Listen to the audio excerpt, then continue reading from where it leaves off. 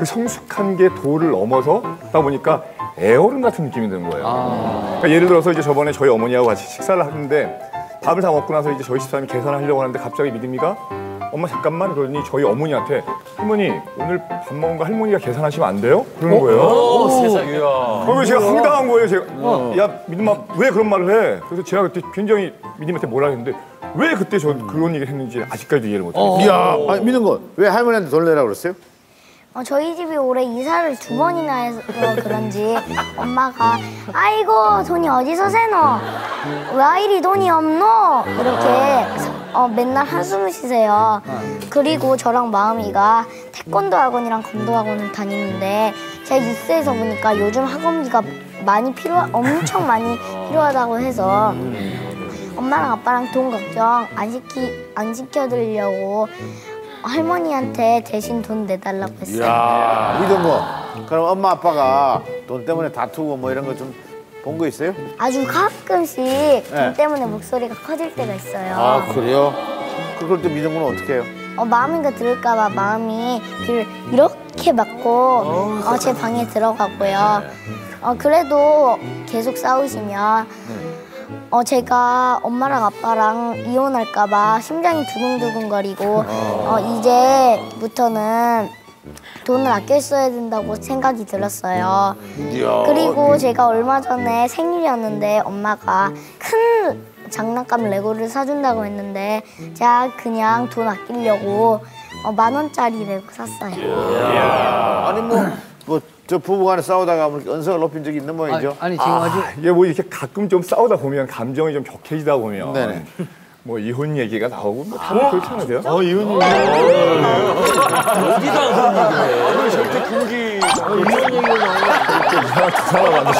아니 저 우리 이정용 씨 가족 문제 해결은 저기 믿음이가 일로 와서 왔고 아빠가 저기 정말 찝찝으셨어요. 어. 근데 어, 너무 이제 그런 얘기들을 해도 아이들은 크게 상처를 와닿기 때문에 이별 또 아이들은 유기공포라고 해서 버려질 것에 대한 두려움이 있거든요. 그게 잠재적으로 있고 믿음이가 뭐 긍정적이고 책임감이 있지만 약간 그런 거에 대한 불안감이 있는 거기 때문에 절대로 애들 앞에서 그런 얘기를 하시면 안 돼요. 절대. 그 어쨌든 그 일이 있은 다음에 제가 이, 이, 이 자도 쓰질 않아요. 이혼의 이 자도 입 밖에 내질 않습니다. 알겠어. 오빠 그럼 이 마음도 안 할 거야?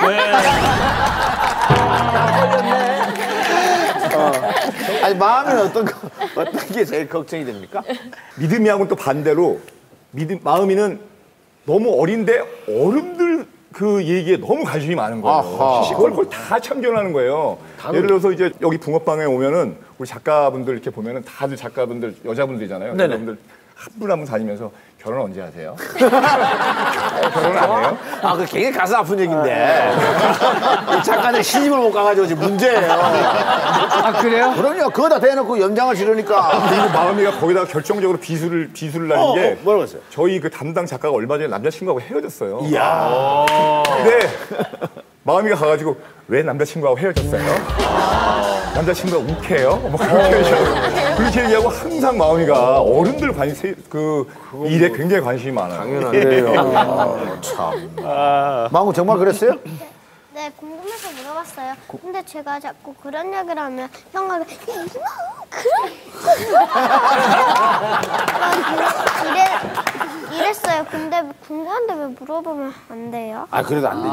그런 걸 알게 될 거야. 자, 또 뭐가 있나요? 간수로 뭐. 자 붕어빵. 자 박준기 씨. 네. 저는 우리 종혁이를 굉장히 사랑하는 아빠 중에 아빠입니다.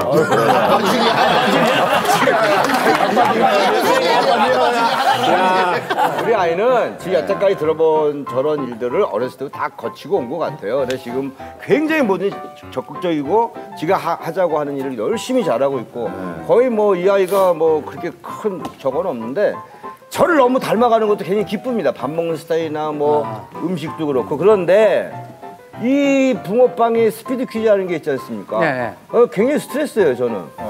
왜냐하면 저는 그래도 뭐 유학을 갔다 온 뭐 그런 케이스라 조금 나이가 먹었고 하니까 고사성어, 사자성어, 뭐 역사 인물 이런 걸 좀 몰라도 그나마 좀 빠져나갈 구멍이 있다고 생각을 하는데 아 우리 조이가 그걸 모를 때 아 정말 창피한 거예요. 아, 진심으로. 예를 들어 얘가 뭐 현충일이 도대체 뭐 하는 날인지 몇, 몇월 며칠인지 모르고 근데 보니까 징기스칸이 징기스칸이라고